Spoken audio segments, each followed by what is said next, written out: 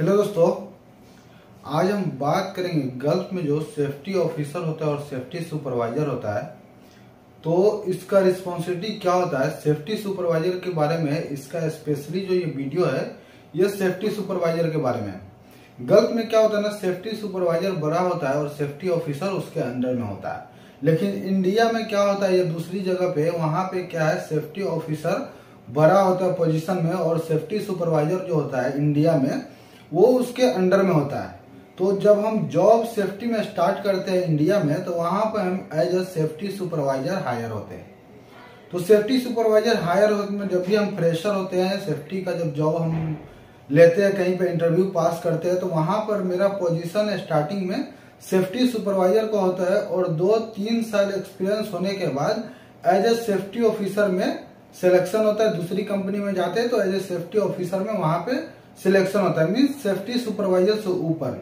लेकिन यहाँ पे गल्फ में क्या है? यहाँ पे सेफ्टी सुपरवाइजर का पोजीशन बड़ा होता है और सेफ्टी ऑफिसर का पोजीशन यहाँ पे उसके अंडर में होता है उससे छोटा होता है।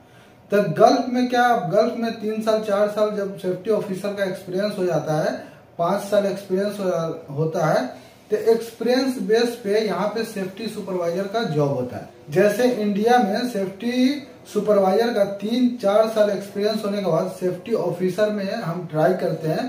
तो ऐसे ही गल्फ में तीन चार साल सेफ्टी ऑफिसर में काम करने के बाद हम सुपरवाइजर में जाते हैं। यहाँ पर ये पोजीशन अपोजिट है। इंडिया में सेफ्टी ऑफिसर बड़ा होता है और यहाँ पर सेफ्टी सुपरवाइजर बड़ा होता है गल्फ में। कहीं भी गल्फ में आप जाएँगे सऊदी हो दुबई हो ओमान हो बहरेन हो कुवैत हो, कहीं पे भी आप जाएँगे तो वहाँ पे सेफ्टी सुपरवाइजर का पोजीशन बड़ा होता है। और हम क्वालिफिकेशन की बात करते हैं तो क्वालिफिकेशन क्या होता है ना, वो सेम होता है, जो सेफ्टी ऑफिसर का क्वालिफिकेशन होता है, वही सेफ्टी सुपरवाइजर का क्वालिफिकेशन होता है। जैसे में आपके पास एज ए सेफ्टी ऑफिसर बहुत लोगों के पास बीएससी ग्रेजुएशन है, बहुत के पास मैकेनिकल डिप्लोमा है सिविल डिप्लोमा है, या इलेक्ट्रिकल डिप्लोमा है, या बीटेक भी है, बहुत आदमी के पास तो और फिर उसके बाद सेफ्टी डिप्लोमा होता है ओशा होता है, निबोस आईजीसी होता है। एज ए सेफ्टी ऑफिसर ये सेम क्वालिफिकेशन पे हम काम करते हैं। लेकिन यहाँ पे क्वालिफिकेशन सेम रहेगा एज ए सेफ्टी ऑफिसर के लिए या सेफ्टी सुपरवाइजर के लिए भी आप हायर होते हैं गल्फ कंट्री के लिए। तो ये क्वालिफिकेशन सेम रहेगा जो एचएससी ऑफिसर का या सेफ्टी ऑफिसर का है। लेकिन यहाँ पे क्या है? एक्सपीरियंस मैटर करता है। तीन, चार साल, पाँच साल एक्सपीरियंस खत्म होने के बाद as a safety supervisor hire किया जाता है। यहाँ पे हम देखते हैं सेफ्टी सुपरवाइजर की रिस्पॉन्सिबिलिटी क्या होता है? तो सेफ्टी सुपरवाइजर की रिस्पॉन्सिबिलिटी जो साइट पे होती है या गल्फ कंट्री में होती है, वो क्या होता है? जब जहाँ पे पाँच छ सात, आठ मतलब पाँच से ऊपर जहाँ पे भी सेफ्टी ऑफिसर होता है, जिस साइट पे, जिस लोकेशन पे, वहाँ पर एक सेफ्टी सुपरवाइजर रिक्वायर्ड होता है। पाँच, छह, सात के बाद अगर ज़्यादा होता है कभी कभी शटडाउन में क्या होता है ना, बीस, पच्चीस, तीस सेफ्टी ऑफिसर की रिक्वायरमेंट होती है। तो वहाँ पे सेफ्टी सुपरवाइजर तीन, चार भी कभी कभी होता है। तो यहाँ पे सेफ्टी सुपरवाइजर का रिक्वायरमेंट होता है। जो भी कंपनी के पास पाँच, छह सेफ्टी ऑफिसर हो जाता है तो वहाँ पर एक सेफ्टी सुपरवाइजर रखता है। तो सेफ्टी सुपरवाइजर क्या होता है ना, जितना भी सेफ्टी ऑफिसर है, वो लोग को लोकेशन पे भेजता है, किस लोकेशन पे किस सेफ्टी ऑफिसर को भेजना है।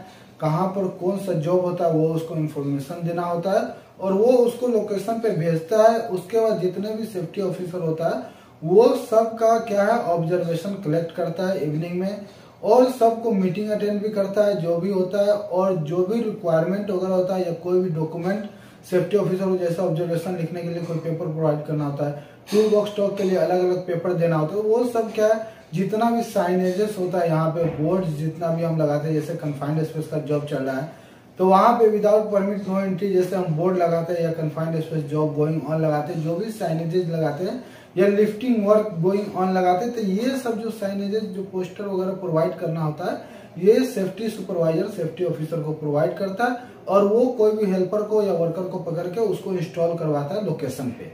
तो ये सेफ्टी सुपरवाइजर का बेसिकली जो जॉब होता है और उसके बाद वो सारे लोकेशन पे, जहाँ जहाँ पे अपना सेफ्टी ऑफिसर जॉब करता रहता है, वो सारे लोकेशन पे वो टाइम टाइम पे विज़िट करता रहता है, देखता रहता है कौन सा जॉब चल रहा है, कैसे काम चल रहा है, वो बीच बीच में अपना विज़िट करता रहता है। तो सेफ्टी सुपरवाइजर का जो गल्फ में मेनली जो होता है, ये होता है, उसके बाद जो भी एक्टिविटी होता है, जो भी जॉब होता है, वो अगर जे बड़ा जॉब है, बड़ा एक्टिविटी है, जैसे जहाँ पे पाँच, छह सेफ्टी ऑफिसर है तो वहाँ पर जीएसए वगैरह या कोई भी डॉक्यूमेंट सेफ्टी से रिलेटेड या कोई भी चेकलिस्ट वगैरह जो बनाता है तो वो सब क्या सेफ्टी सुपरवाइजर के अंडर में होता है। डॉक्यूमेंटेशन जॉब जो भी होगा वहाँ पे, वो सेफ्टी सुपरवाइजर के अंडर में होगा।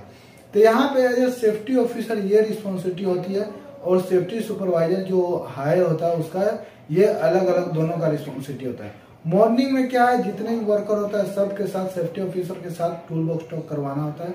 वो भी सेफ्टी सुपरवाइजर वहाँ पे अवेलेबल होता है और वो फिर कंडक्ट करता है। उसके बाद एवरी डे एक एक ऑफिसर को अलग अलग डे में उसका टॉपिक होता है, वो अलग अलग डे में कंडक्ट करता है टूल बॉक्स टॉक कोई भी इंसिडेंट होता है, कोई भी एक्सीडेंट वगैरह होता है तो उसका इन्वेस्टिगेशन जो करना होता है, उसमें सेफ्टी सुपरवाइजर इन्वॉल्व होता है। और एज ए विटनेस अगर किसी का वहाँ पे है किसी के लोकेशन पे ऐसा इंसिडेंट होता है नियर मिस होता है तो सेफ्टी ऑफिसर से इंटरव्यूज़ किया जाता है, वहाँ पूछा जाता है कैसे कैसे होता है। लेकिन जो रिकॉर्ड किया जाता है, जो लिखा जाता है, जो रिटर्न में लिया जाता है, वो सेफ्टी सुपरवाइजर करता है।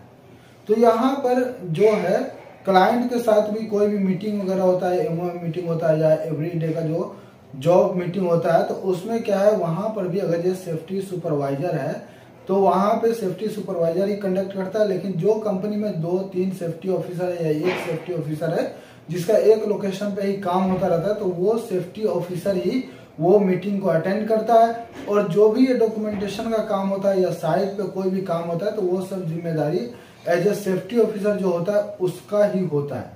लेकिन जहाँ पर सेफ्टी सुपरवाइजर होता है, वो सब ज़िम्मेदारी जो अलग की ज़िम्मेदारी होती है, वो सब जो रिस्पॉन्सिबिलिटी जो होती है, वो सेफ्टी सुपरवाइजर का होता है। और सेफ्टी ऑफिसर जो भी टेन आवर्स का ड्यूटी होता है एट आवर्स का ड्यूटी होता है या ट्वेल्व आवर्स का ड्यूटी होता है, वो परमानेंट वहाँ पे जॉब पे लोकेट रहेगा, जहाँ पर भी काम चलता रहेगा, जहाँ पे वर्क गोइंग ऑन होगा, वहाँ पर सेफ्टी ऑफिसर असाइन किया जाता है एक पर्सनल प्रॉपर जॉब के लिए कंटिन्यू वहाँ पे एक लोकेशन पे एक सेफ्टी ऑफिसर रहेगा।